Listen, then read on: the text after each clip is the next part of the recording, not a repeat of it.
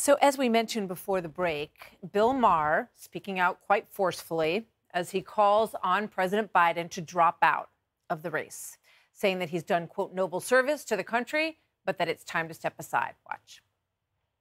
Someone has to convince President Biden that if he runs again, he's going to turn the country back over to Trump and go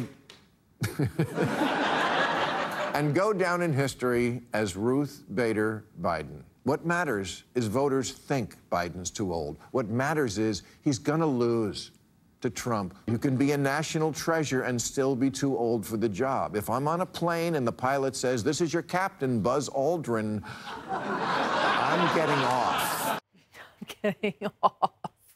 All right, let's bring in Kellyanne Conway, former senior counselor to President Trump, now president of KA Consulting, and Robert Wolf, former economic advisor to President Obama founder of CE and CEO of 32 Advisors, both Fox News contributors. I want to go first to this video. This is just the latest example of one of those moments where people watching it are a little nervous about what's happening next. Watch this. I hope this experience for the speaker has been one of a personal revelation. I'm not being facetious. I uh, um,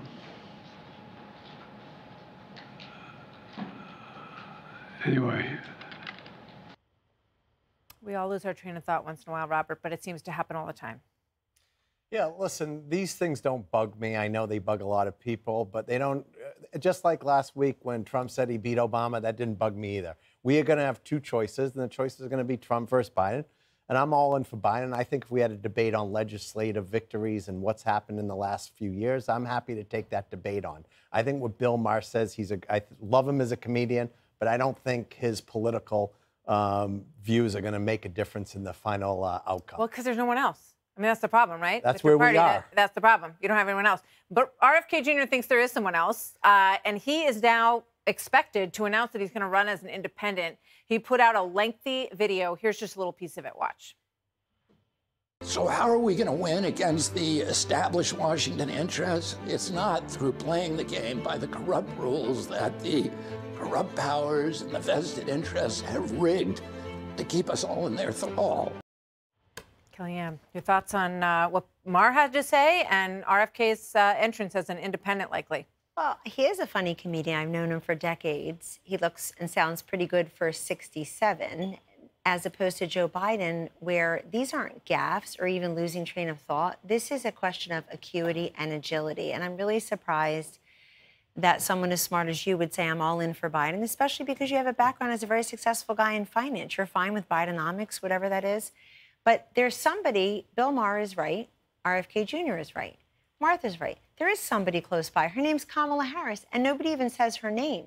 Because if you think they're worried about Joe Biden making it, you ought to talk to Democrats about Kamala Harris. They want to talk to you about the weather and the ski season, Martha, before her. It would be so easy to say to Joe Biden, you're a quote national treasure. You got rid of Donald Trump. You finally got the brass ring. You're a president. And now you can do one more thing in history. You can elevate and help us elect the first female, first female of color president. They can't do that because it's Kamala Harris, and no one has confidence in her competence.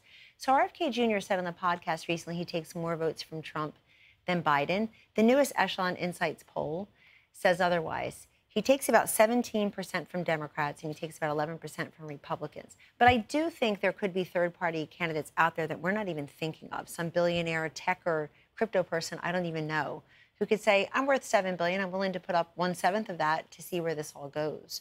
Joe Biden's floor and ceiling and everybody's polling are dangerously close together. You couldn't put an inchworm between his floor and ceiling. He's usually somewhere between 42 and 43 percent in the polls.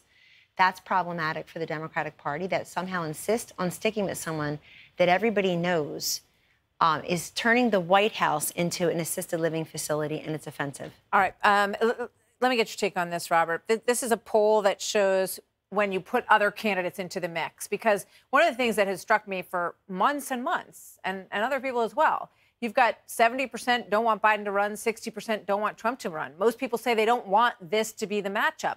Uh, my I, I, think it's pretty safe to say we're going to get other alternatives in this mix.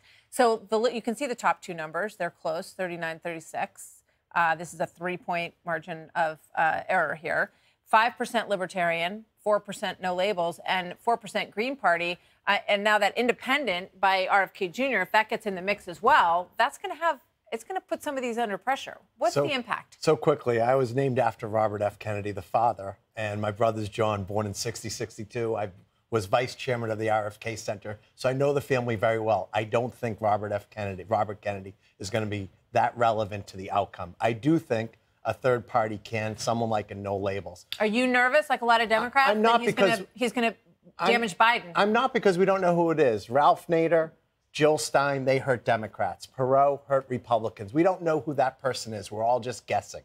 I don't think until we know the candidate, we'll know the impact. But yes, I think a third party could have an impact on one side or the other. So the but I don't think it's Kennedy. About RFK Jr., Kellyanne, is that, um, and you say the polling shows otherwise, but the people who talk about him the most are huge Rogan fans, huge Jordan Peterson fans, a lot of libertarian type anti-vaxxers individuals. Yes. Uh, anti- well, yes, absolutely. And then you know you, you just have this sort of Democrats being just they want him to go away, right? They, they are very upset that he's even uh, the family. His family's very upset that he's running, but he's he's running. It's an impressive video that they put out about like people's concerns about the system and you know not having the freedom to choose who they want. Well, the irony is he's a Kennedy who can run as an outsider. He's always been an outsider, and not only are the Democrats afraid of him, they've completely said there won't be any kind of debate. They're afraid for Joe Biden to stand next to RFK Jr. and have to debate these topics. I think the most intractable problem for Biden today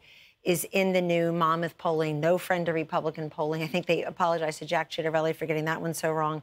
But that one says that 76% of the country thinks Biden's too old. 55% strongly think so, as opposed to 26% who strongly think Trump is. Point of that poll that goes to RFK and these third parties, Martha, is that 56% of Democrats say Biden's too old. The one thing that's not going to change between now and next year is Biden being old. In fact, I'm going to venture it's going to feel like dog years to all of us, and it's going to go you up think by that seven. next year he's going to be one year older? Seven dog years. Unfortunately, that's the way it works for all of us. Um, thank you very much, Robert. Thank great you. to have you with us, Kellyanne. Great to have you with. Uh, this story's going to really go on. Uh, there's a lot to talk about there, so we'll see where that all goes as the election gets underway. Hi, everyone. I'm Brian Kilmeade. I want you to do me a favor. I want you to click to subscribe to the Fox News YouTube page. This is the only way that I know for sure that you're not going to miss any great commentary, any great news bites, any great interviews coming your way on Fox. You can get it all here on YouTube. So subscribe right now.